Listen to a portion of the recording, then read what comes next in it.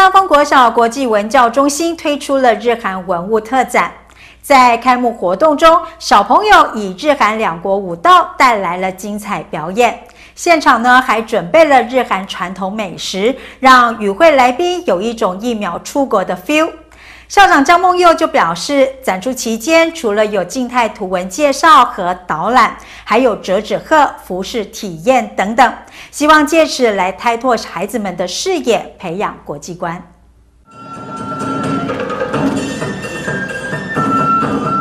小朋友身穿和服，在大丰国际文教中心前表演精彩的日本舞蹈。随后上场的则是现在最夯的韩国 K-pop 舞蹈演出，让现场顿时之间感受到日韩两国不同的文化风格展现。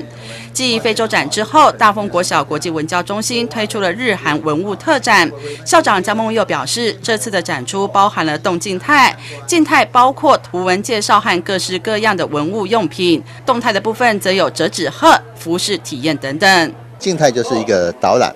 啊。啊，日本跟韩国的一个呃文化的一个导览，那另外也有实作，像比如说衣服，传统衣服的一个呃试穿呐，哈，那还有他们有一些像那个特别的文物的一个制作，哈。类似这些，在开幕活动中还特别准备了日韩两国的传统美食，像是韩国的鱼板、日本的红豆饭等等，让在场的与会来宾感受一秒出国的 feel。大丰国小校长江梦佑希望借由丰富的展出，将世界各国文化带入校园，开拓孩子的视野，认识多元文化。我们希望能够透过这些体验文化，啊，让他们可以了解到其他世界各国的一些文化。好，我想我们没办法花大钱带孩子去国外，但是我们可以把世界带进来，啊，可以做好一个国际教育。